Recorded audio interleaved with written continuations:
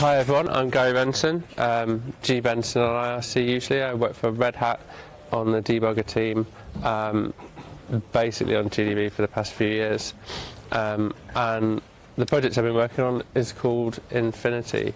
You turn the mic up, I can't, can't hear you very well. It's not attached to. It's not attached to anything. Oh, He, he has to would explain speak that. louder. All right, sorry. Okay, I'll speak louder. All right, so first up, what is Infinity? It's a little kind of single sentence. It's a platform independent system for basically it's platform independent system for applications to expose some extra functions to software development tools like um, you know debuggers, monitors, um, and other analysis tooling. So um, I guess throughout this talk I'm going to say you know Infinity is tool agnostic. It's not aimed at any particular tool, but I'm probably going to say GDB and debugger a lot because that's kind of where I'm coming from. So that's what it is. Why? Why do we need it? Um, some uh, some aspects of some applications need to be kind of understood by um, by the tooling you're using. So, for example, you may be working on an application and it's using multiple threads, and on your platform, um, the the threading functionality is provided by libpthread.so, which is the the threading library. Um, so if you're you, so any any tools that you then use to connect to examine this application, they need to know that if they see libpthread.so, if they see the threading library, then your application is doing something extra, and they need to um, they need to do this extra bit, which for the threading library, there's a second library, the thread debugging library, which then your the the tool, the debugger or whatever, has to then find and load, and it can use these functions then to introspect your application and find out, in this case, the threads that your application is using. So, um, as a in a kind of diagram, it looks like this. So you've got your application uh, up there on the left, and the tool, the debugger, the monitor, is accessing your application somehow, and that's the red line. Um, and the tool has loaded the thread debugging library to see what your application is doing with the threading library. So already there's there's a fair amount of knowledge that we're baking into the um, that has to be baked into the tool to make all this work. So any tools that are going to deal with threaded applications here need to know that if they see the thread library, then they need to load the thread debugging library. And they also need to know that if if your application is statically linked, then it may be threaded anyway. So it may need the thread debugging library anyway. Um, the tools all need to know where to find the thread debugging library um, which, that relates to the threading library that you've loaded. Um, and there's no there's no standard way to do all this. Um, uh, it's it's just a pattern. So um, the you know the thread the thread debugging library is just one one example of a debug library. It's probably the most common, but there are other there are other debug libraries that are used to um, examine runtime linker internals, um, and the Open OpenMP, the parallelization stuff is um, either proposing or have written their own debug library. Um, and this so this kind of stuff has to be you know each each debug library has to be written kind of individually, and the, the rules for finding the debug library have to be written, um, and also for how to how to check kind of versions like the lib the the threading library and the thread debugging library are kind of the thread the thread debugging library is looking at internal structures in the threading library, so they have to make sure that they're um, for the same versions or whatever in the same compiler, and all these issues like can be and they are currently handled um, you know, the thread debug library works and it has for um, however many years it's existed for most situations. so, back if I go back to the, this is the um, this is the graphic we just looked at. So the tool, the application, and the two libraries. Um, but this picture is not complete. There's in here also is the C library, the, the system C library. So your application is linked to the C library, the threading library is linked to the C library, and your tool is linked to the C library and also the thread debugging library. And this is fine if you're using like a, a homogeneous environment, if you know everything's running on your laptop or everything's running on one computer somewhere. Um, but it's not fine in a heterogeneous environment. So if you have different architectures, say you know, your tool is running on your laptop and your application is on some AArch64 server somewhere.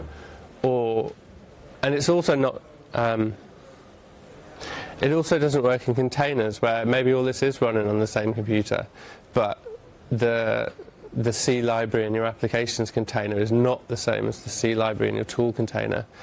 And in this, in this particular case, um, the C library is going to look like it's the correct architecture, but it may well be built for a different operating system, and it may well then just um, it may just crash your debugger when you load it. So this is kind of um, this is kind of why I've started been working on this project. Um, obviously, you can make special builds of the debug libraries that uh, you know it's built for this thread library, but it's linked again. That's against that thread library. But then you have a kind of matrix of different um, builds of the debug library that you have to maintain, and it kind of gets out of hand. So, so okay. So in order to, in order to um, kind of replace libthreaddb with something else, uh, can I have a look at like what does what does libthreaddb do? Well, it export it has a bunch of functions that it exports to the tool um, so they're all in in the thread debug in the in terms of the functions that GDB uses in the thread debugging library, they're all information to get. They're all functions to get information about a specific thread, or to and there's a there's a function that allows it to iterate over all the threads. But unlike a lot of other libraries, libthreaddb is kind of uh, it's like double-ended. It exports functions to the tool, but it also imports functions back from the tool. So um, it's um, it's kind of importing amongst the functions for the tool. So uh, the debugger or whatever would say, "Can I have the uh, I don't know the priority of this particular thread?" And then the thread debugging library then comes back to the the tool and says, "Okay, can I have the can I have the contents of this block of memory, or can I have the registers of, can I have this register from this thread? Um, so the thread debugging library is essentially driving the debugger, the, the tool. The, um, it's kind of handing over the steering wheel to the thread debug library, um, just for a little while, and then it comes back with whatever the, the, the debugger has asked for. Um, and the solution that I've picked, I've kind of been working on for Infinity, is um, to have platform independent functions, the kind of equivalent of what the thread debug library has, um, stored in the actual library. So in, in libpthread, for instance, if you have your you know your application is using the thread library, the thread library contains the actual thread library code that it usually does, and as well it has these little functions that allow um, allow a debugger or a tool to call into it and say what is this and it would come back. So this approach of having platform independent functions in the actual the kind of regular library means that locating the functions is trivial. Like if your application is using this library, then the the the tool can see that here's the library, here's the actual file, the library that you're that you're application is using, and here in that file is these infinity functions that I can use. Um, it also means that, that the tools don't need to know that some particular library is accessed via some other particular debug library. If it, if you're, if you can, if you connect your application with a debugger and it finds uh, infinity functions to access certain threading things, then it knows that okay, your application is maybe threading, so I'll, I'll maybe call these functions to find out what about it. Uh, I've gone ahead of myself a little bit. Yeah. Sorry. Um, and also, this, this method works nicely with static linking. It, and it doesn't really matter where the functions are, where the where the infinity functions are. So if you if your library got its threading code from dynamically loading libpthread.so, then the debugger can see that. If your library got the threading, if your application got the threading library because it was statically linked in, then as long as the infinity functions have, have followed it, then um, the debugger can see that. Um, and graphically, this this looks like that. Um, sorry. Okay.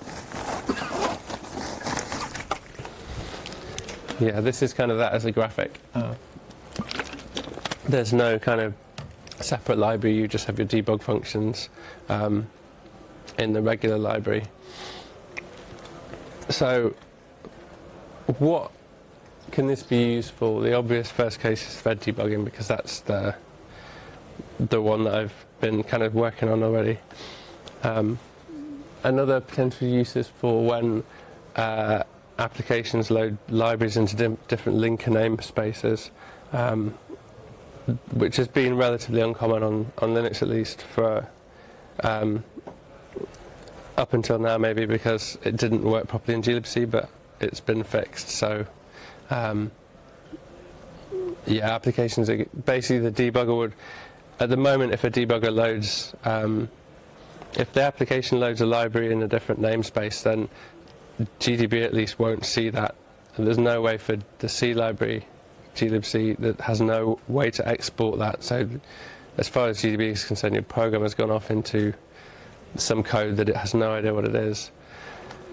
Um, another potential use I mentioned earlier is OpenMP, um, which has its uh, own uh, debug library to access various um, things about uh, what it's doing. ASAN and TSAN address sanitizer and thread sanitizer from uh, Clang. Is it Clang? Do people say Clang? Yeah. Um, they currently use hacks to calculate things that are, are not exported, and these kind of things where a tool bakes in knowledge of a um, of the kind of internals of something else is is a really like is the kind of basic use case for it. Um, and the final potential use that I've thought of so far is uh, pretty printers that glibc has. Like currently, they're they're written in Python. Um, and the actual Python code has two parts. One part is the finding the thing you're trying to print, and the other part is actually printing it. So the um, the printing bit is obviously would still stay in Python, but the actual the bit of finding it and coding all the structure offsets and stuff is really nicely suited for um, Infinity. So the what are the components of this? There's a compiler which um, takes kind of uh, a kind of textual source and turns it into dwarf bytecode wrapped in a little chunk that goes inside the binary or shared library. And there's also a, a tester which allows you to write um, unit tests and um, it allows you to, it allows you to write basically a unit test and the the function itself um, at the same time, which I I kind of think is pretty important because these functions are kind of for tooling, so um, like you know they're for software development tools, so that it puts a kind of um, like a late discovery of error into it, where so say it could if things like the thread debugging functions in glibc will not really going to be used in glibc until you start debugging an application with it. So it could potentially have a glibc gets built and shipped, and it has a, if it has a broken thread debug note, then the first thing you're going to find is if some user tries to debug something and it, the thread debugging is broken. So I've, I've wanted to make it as easy as possible for people to write complete test cases um, in the code they ship.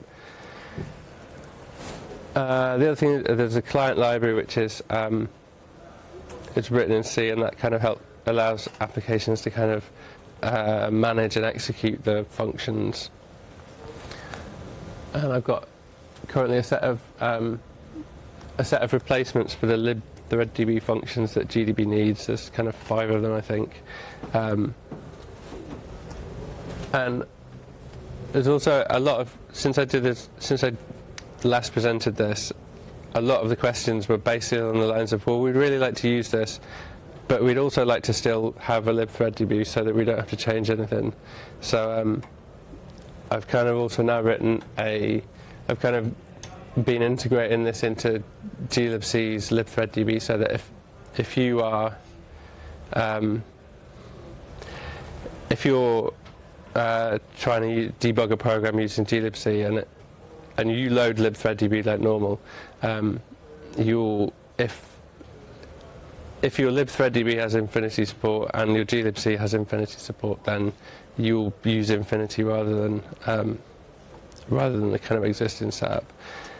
And I was just curious, what what role does the client library play? Like, what sort of it's like a it's a bytecode interpreter basically, but and does it so like does it find the bytecodes for you? Because then don't you need that same kind of callback? it doesn't. Yeah, there is a callback.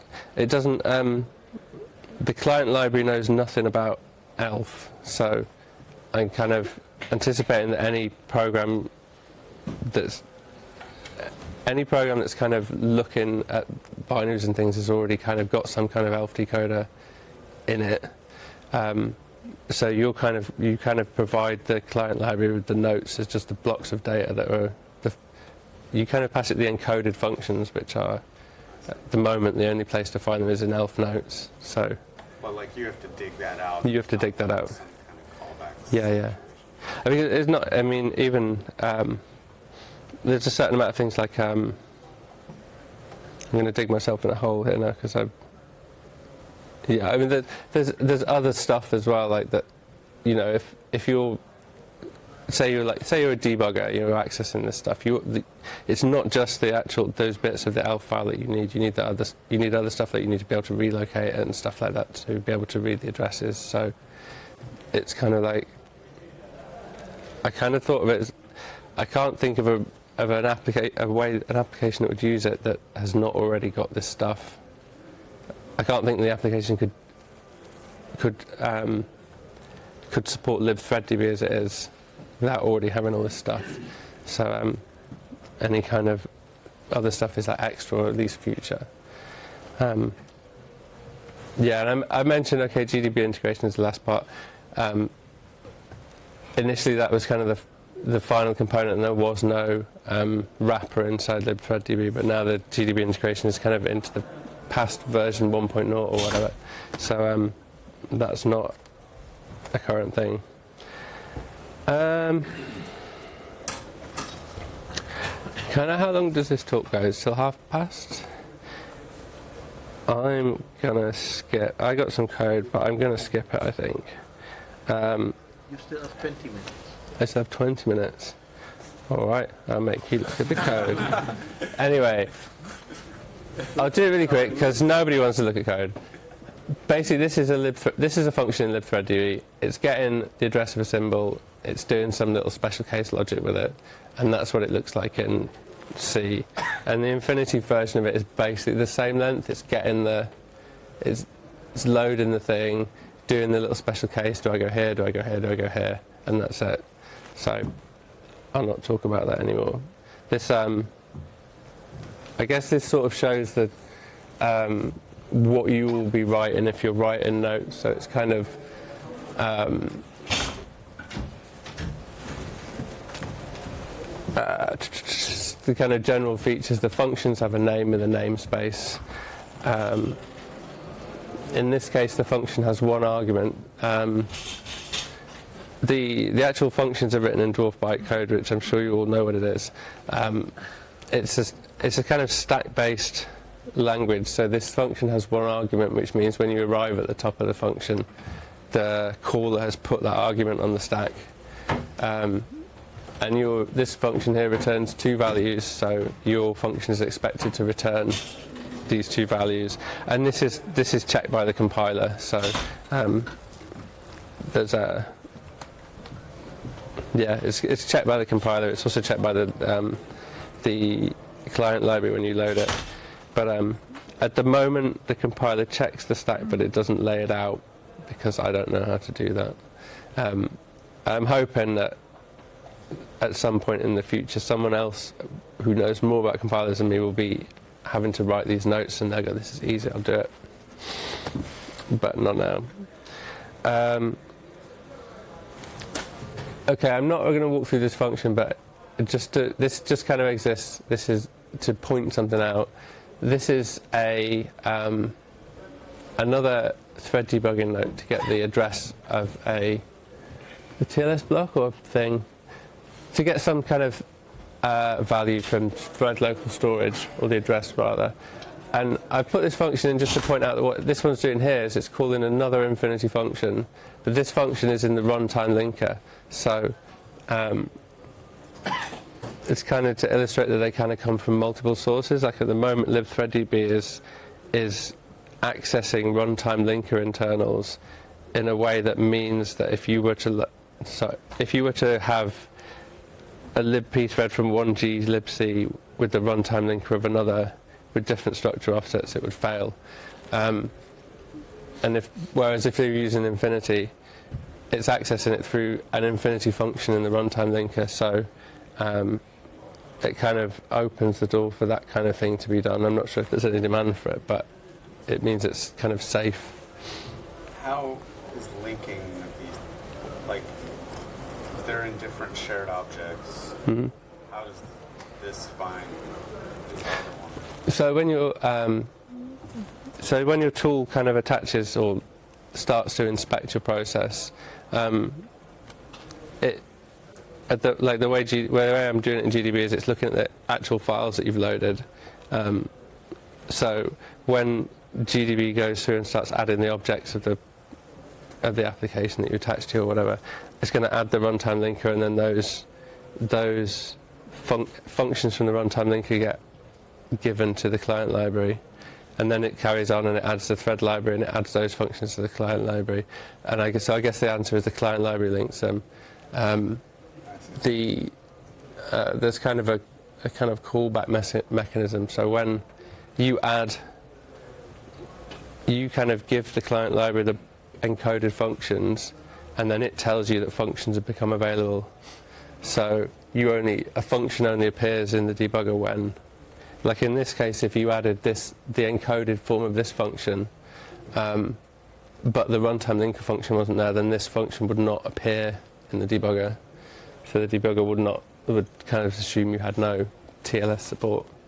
So um, the kind of the functions arrive at the debugger kind of more piecewise than than they do with libthreaddb. It's like um, Uh, the idea is that uh, Infinity is platform independent, I understand. But Mhm. when we see calls to, uh, for example, underscore underscore link map TLS mod ID, mhm. that looks like uh, relatively specific. Uh, we will probably not find this if we use GDB to debug a Windows multi-threaded application. Well, no, this this this this thing here um, is the name of another infinity function. Okay, so, So- we reuse some of the names. Yeah, yeah. Okay. So um, But this then should map then on, I don't know, I know nothing about Windows, Mhm. but uh, is the thread, uh, let's say, mechanism and so on used on Windows for TLS mapping this structure? Um, well, again, I don't know. Nothing, I don't know anything about Windows either. But um, uh, the kind of idea is that the the set of functions that the debugger sees is um, it's kind of like an API. So if if the debugger sees that you've got this function thread get TLS address, then it knows that that concept is there. So it doesn't matter whether how this is implemented um, like this is the implementation from glibc, whereas a Windows implementation would almost certainly look completely different, and it maybe wouldn't have the concept of a runtime linker or a module ID. Um, I don't know. Does that answer your question? Yes, yes. Cool. I Uh, misunderstood the level at which this was done. No, it's clear. Uh-huh. Um, let's have a quick look. This is a test case that for one of the functions. Um, it's kind of the the way I've been doing the test cases is this implement thing just says uh, it kind of just like stubs out all the functions that it's going to use, then it calls the function and checks that the result is as it is. It's like a it's a test case. So this is a, so you have a Python ra- uh, wrapper of, of, of the client of the client library. Is that Yeah, yeah. okay? Yeah, because I, okay. So yeah, when This Python, yeah, you're calling the uh, the library. Right? Mhm. Um, so, uh, yeah, the current status of all this lot. Um, the note compiler is complete, but it needs documenting. The note tester is complete, but it needs documenting, and it needs more tests. Um, the client library is complete, but it needs documentation can see the pattern. and some more tests. Um, the client library actually has quite a lot of tests, but it doesn't have it doesn't have tests that would validate the specification, which in itself I haven't completely finished writing. Um, but like the specification says that this this bytecode should do exactly this and exactly that, and um, so I need to write a lot of tests for bytecode that doesn't do that, um, Oh yeah. which is not there. Um, I have the stuff to create the broken bytecode, but I don't have the, the you know I haven't sat there and churned away at writing them all yet. I've got a set of glibc um, notes. The one the ones that GDB needs, um, they're all complete. Most have tests. The the API that they export isn't documented, but that's relatively simple. Um, I don't know if there's any glibc people here, but I'm hoping to get a patch mailed by February the 16th. That's my date. So um, kind of I'm kind of working on getting this all kind of in fairly soon, hopefully. Um, uh, the libthreaddb, the kind of integration part of it is is there. There's a there's a little GDB modification that it needs, which is currently native only. So that's um, uh, that's future work. And yeah, the the GDB integration bit that I mentioned earlier is um, kind of post 1.0, so um, it's not done yet. How stable is, is the note format and the, the, uh, the bytecode? Um, I'm hoping very stable. Um, it's because I don't like I can't even remember why I decided to call it Infinity, but as as it as things progressed, I spent a lot of time thinking if something is if something's going to change here in the future, how do I make it so that it fails gracefully, so that um, it's hopefully got a lot of kind of built-in stuff so that you can easily say that this is not relevant anymore. This is unsupported or is now supported, um, so that older older stuff using newer features can gracefully fail.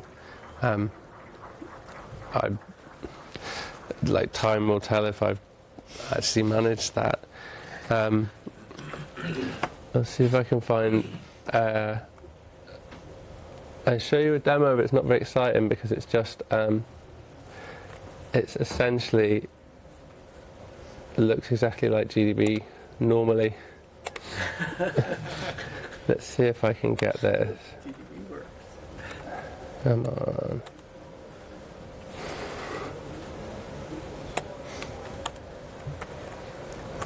All right. Are you seeing something we are? Yeah, I'm trying to get this to. Um,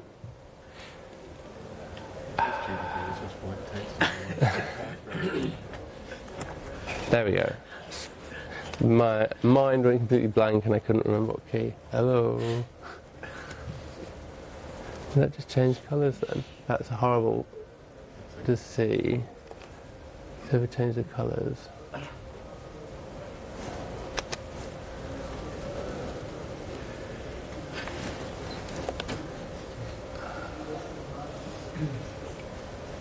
That looks good.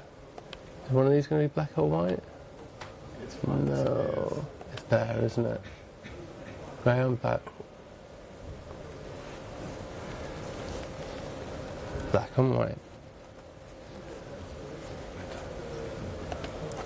Right. Um, How do you...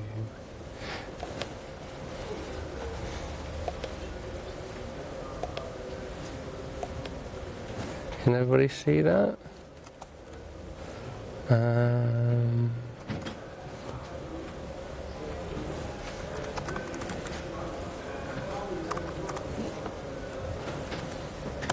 okay, so there's an example process. Five, seven, three.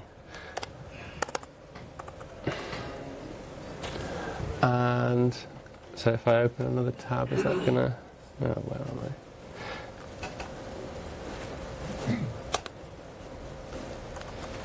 Okay. Has that gone back to being small again? So if I go TD and tell it to load the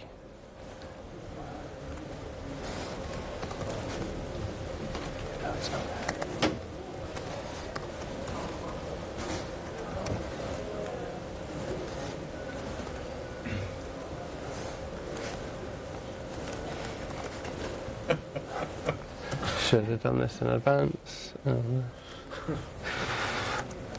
Okay.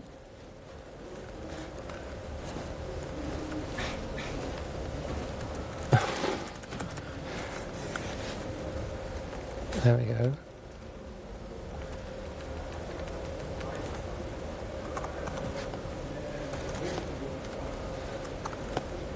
Jeez.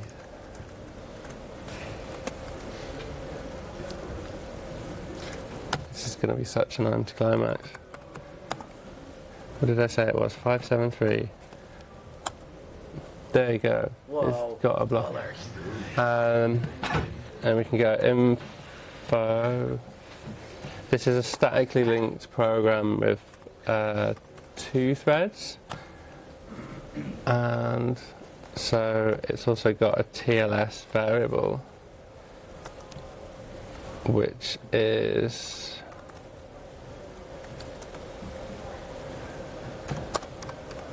So, but wait a minute. It is There you go. loading libthreaddb. It's loading libthreaddb, but that libthreaddb is using Infinity. Exactly. It's he's one. You know, the one in Word Unity. Oh, it's a Infinity. fake. Yeah, because at the last time I did this talk, everybody asked, everybody said, "Well, this is great, but can we actually have a libthreaddb on our The one system?" the new stuff, looking like the old one, right? Yeah, and Change without change. I'll show you uh, with, if I show you it with the debugging, like tracing switched on. Type all that stuff in again. What was it? Set libthreaddb search path work. Okay.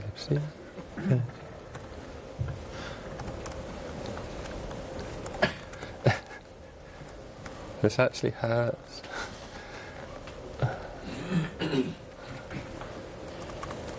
Save. Kiddo. 573. You should see a ton of bytecodes get executed now. Oh, So there you are. There's stuff happening. So if I do that, the, print the TLS variable again, uh-huh. you will get some more bytecodes. Not a huge amount. Like uh, you can see, it's it's actually quite a complicated.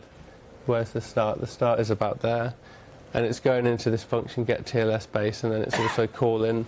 Um, it's going into like it goes into this. This is all thread debugging stuff, but then it goes into the runtime linker notes and starts pulling stuff out from there.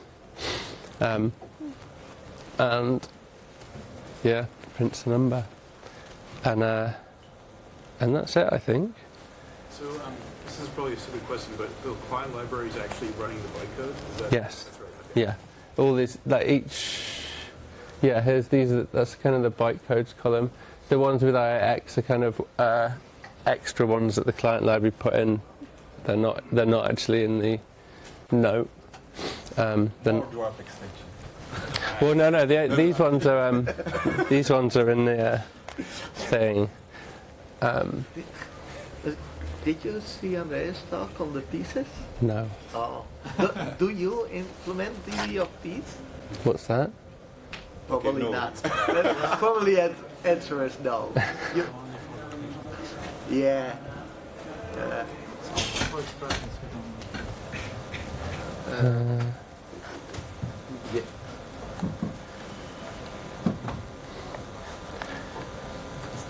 Uh, yeah. Um, okay. Um, I'll just put all this stuff on the screen, and then any further questions I will I have, answer. I have a couple of questions. One is, does this let you remove libthreaddb from GDB server?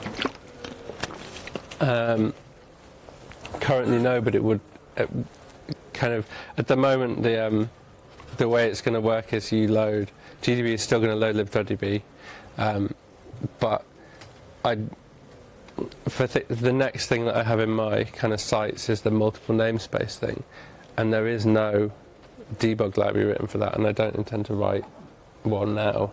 So. Like dlmopen? Yeah. So, what my kind of once this is all in glibc in the libthreaddb and in the libpthread, um, my kind of next thing is then to make GDB access the Infinity functions by itself without needing libthreaddb, um, and then it will be able to do it, and it will all happen in GDB. Um, will it happen in GDB? No, it probably would make sense to have it in GDB server as well. Yeah, I, I think it would be nice to have it not in GDB server. Mhm. Just because that's an added thing. If you have a GDB server implementation, it's just an added complicated thing it has to do. But then you would have if so you have your GDB server, and your application creates a new thread, and GDB server has to communicate with GDB to handle that, But G, I mean, or does it? GDB could already, you know, it's just evaluating some little script and getting some stuff. GDB could do that. Yeah, it would be totally possible. Say what? If that libthreaddb is implemented internally using Infinity, there's Right. nothing blocking GDB using a libthreaddb that then Right. interprets the, the opcodes Yeah. in the host, even if connected to a GDB server, then uh, uh, you just have to load some version of libthreaddb that's compatible enough with the the, the functions defined by Infinity.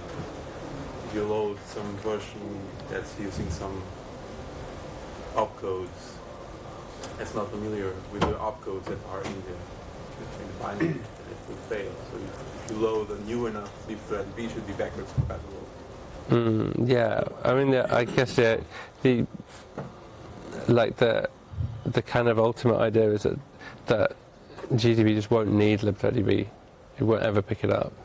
Um, Then it just, it, then it becomes a little implementation detail. It's just that piece of code that's a bridge between GDB and the current Infinity library. It's either a chunk inside GDB or it's a separate library. but it's the same thing. yeah, for thread for thread. Conceptually, it's like you pick libthreaddb and you copy paste it. You know, the, the new implementation. Hmm. It's like if, if you copy it inside the B, right? Yeah.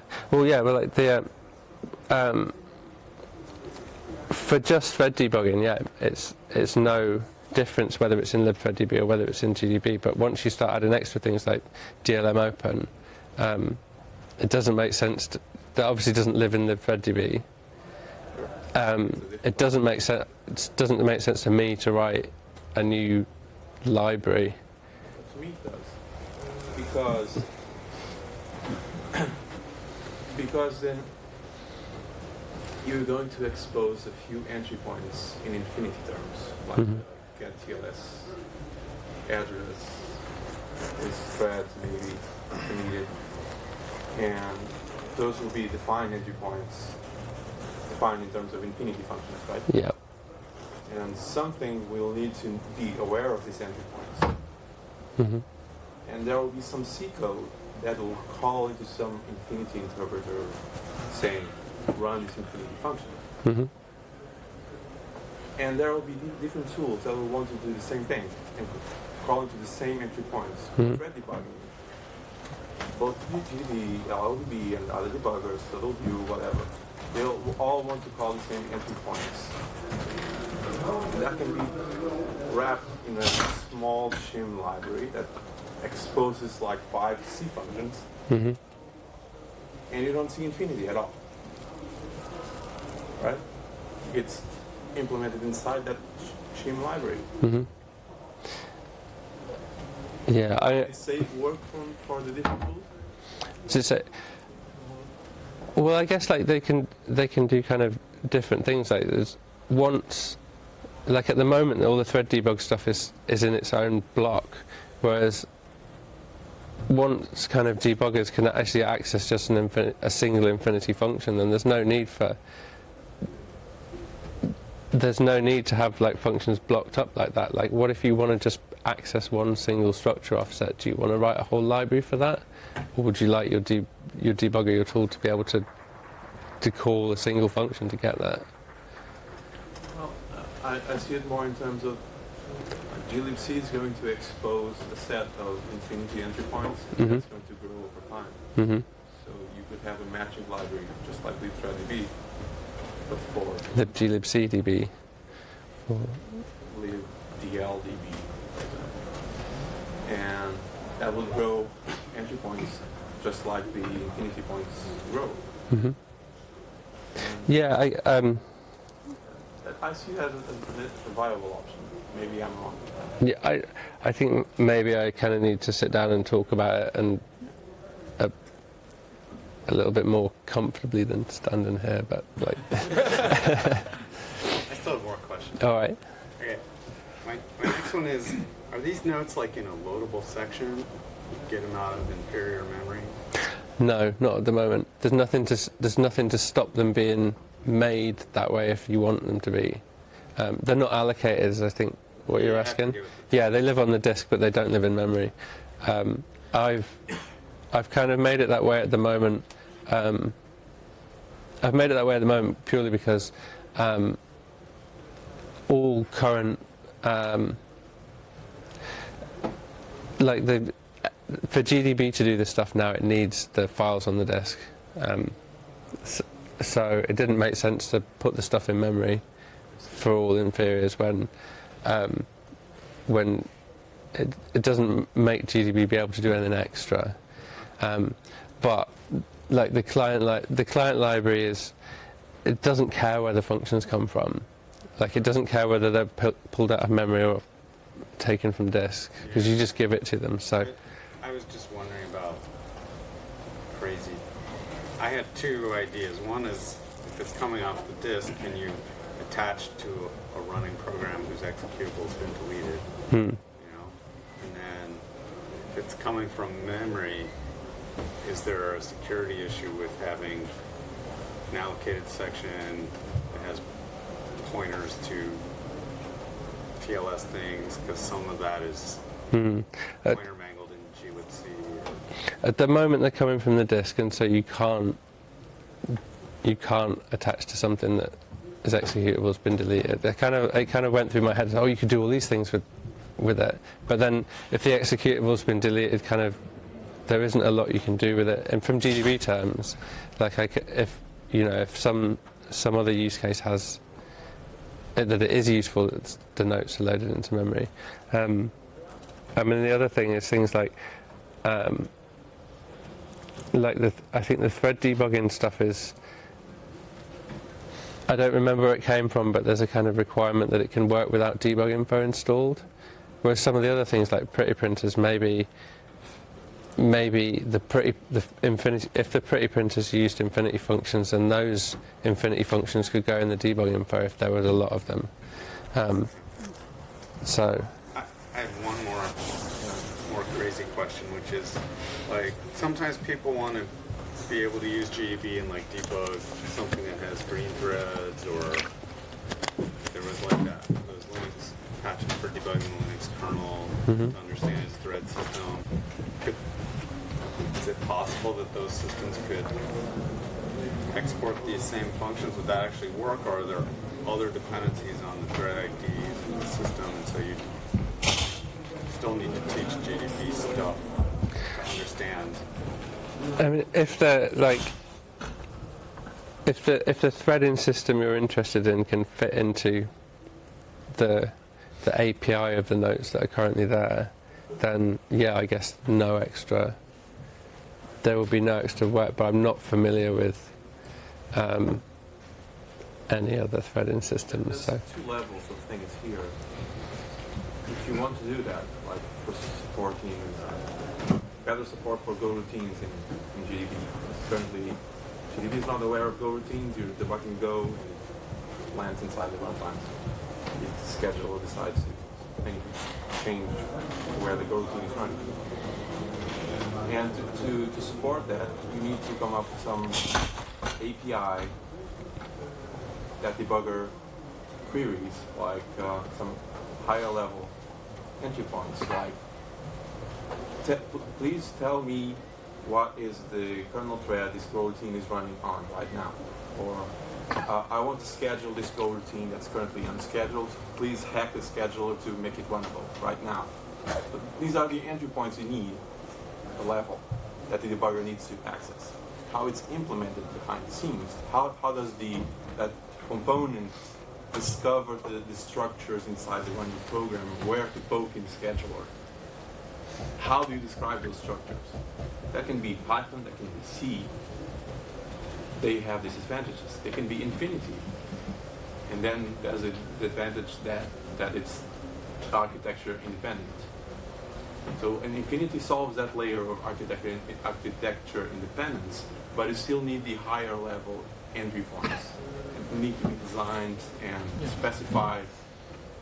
Yeah. So, That's uh, one, one other comment before you, you asked about um, moving link thread B to GDB. Yeah. There's one disadvantage to that, which is latency Yeah. related, because you ask for um, print me variable, uh, TLS variable, and you notice the, the bunch of opcodes that ran Yeah. when he showed that with logging enabled, a bunch of memory accesses back and forth, uh, just you know, follow some pointer pointer chasing. Yeah. If you do that on the server, then the host is going to ask the server, give me TLS base. That's one round trip on a potentially slow latency link, a few milliseconds perhaps. If if you move that into all this interpretation to the that's host, the DRAM, potentially so- have, may, you may have milliseconds for each of those, and if you have a hundred, then it can be noticeable. It can slow you down. Yeah, I'm just thinking like, you know, first of all, I, I added the I thread. DB support to something and it's a nightmare. And I don't want to ever deal with that again. It'd be nice to just remove it, you think the know? worst was the, the callback interface. Well, and then there's, yes, the callback stuff. But it seems to me like you'll, you'll need something like that with this scheme because notes require you to find the elf file and extract some section from it. But like GDB server doesn't know how to do that. And generally, some other implementation probably wouldn't need to, wouldn't know how either because nothing needs needs it right now. Right? So you can either make that a new requirement or this libthread db shim will have to use that same symbol callback API to just look up a different symbol like magic symbol meaning send me the you know? So- Does that make sense? In practice, it's not complicated to parse an element between different lines. I mean, But there's but it's just some code you have to find you have to know about if it's proc or you know the way I am- DB does- I actually don't the way I imagined it working for GDB Server was that um, GDB and GDB Server would both have the Infinity client library, and GDB would feed the notes to the one in the that it held. So GDB will be passing the ELF, because I guess with a GDB Server you also have the thing. You sometimes you might have like um, some cut, some like strip binaries over here, and you have binaries with symbols over here. I think that's pretty common. Um, so the the GDB the GDB would be would be loading the notes and then sending them over to GDB server, which would then in, um, kind of it would maintain its own copy of the kind of like each GDB server would have its own copy of the notes, and they would execute there to avoid the kind of latency. Um, GDB I, uh, handle any symbol lookups that it had. Yeah, I mean, if it A did relocation. like just shipping the data over, and it was like that part of GDB server, and the callback thing is also just it's very messy to implement. Yeah. You know, the Don't ask me why it's done that way. Yeah, and you know, it, it is how it is, but it'd be nice if something new didn't work that way. It worked. It's more like It's bizarre because the interface was copied from Solaris, and the Solaris interface is function function pointer based on the table. yeah, Register this callback. Right. This is the normal thing to do. yeah. Well, I don't mean the lib thread DB part. I mean the part about um, GDB server. There's a special thing in the protocol to do this dance to get symbol back. Oh, that little. symbol lookups and then There's some. Uh, I know the bit you mean. That's some state. And it's just kind of complicated and messy, and it'd be I know. nice to have it be not messy. yeah, we can talk about that. And that was yeah, yeah, yeah. That's the Q symbol. Cool. You can only do it at some specific point. Right, cut. Is anybody else? Okay.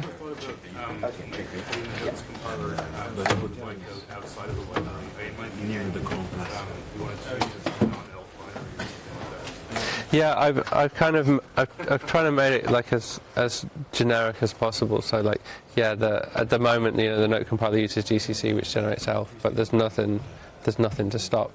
Um, there's nothing forbidding it in the standard or whatever the spec. Um, it's it's just is ELF at the moment because that's what it is. But they're, they're, kind of they're self-contained units. They don't rely on anything else from the ELF file.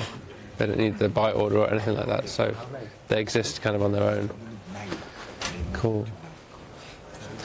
All right. Thank you all for listening.